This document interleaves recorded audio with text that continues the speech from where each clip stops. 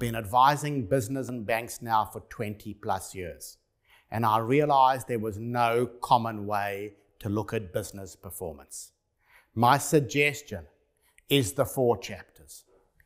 There are seven levers impacting your profit and your working capital.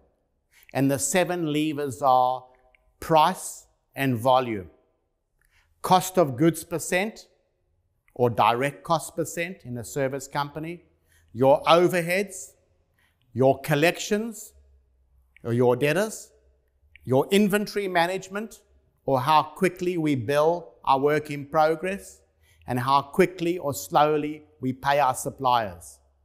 I've developed a concept I'm calling the power of one, sitting on the desk of every single person in your executive team should be the power of one. What do the 1% or one day changes do to your business? So, for example, if William puts up his prices by 1%, it will improve his cash flow by 333,000 and his profit by 420. If William sells 1% more, he will actually have negative impact on his cash. He will lose $43,000 as he grows, even though he makes 130,000 profit. Whenever your working capital is greater than your margin, volume is detrimental to your cash. William, your gross margin is 31%. Your working capital is 41. Volume is detrimental to cash, positive to profit.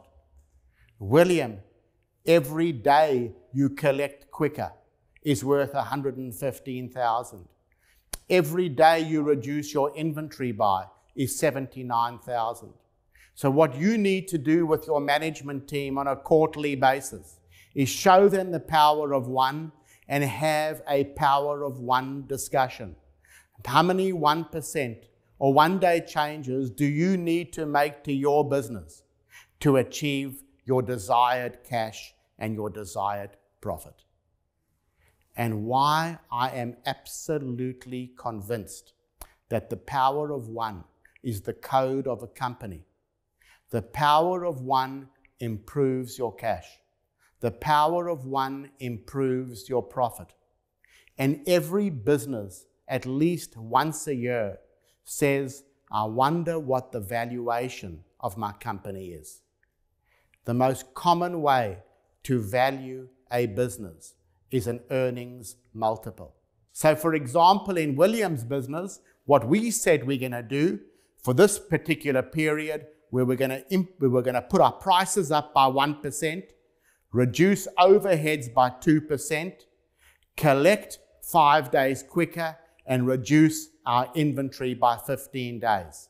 This got over a $2 million cash flow impact and a $500,000 profit impact. So now I'm saying to every person listening to this presentation, the power of one is the most critical component. The power of one will achieve your objectives. Every three months, you should be having a power of one discussion with your management team.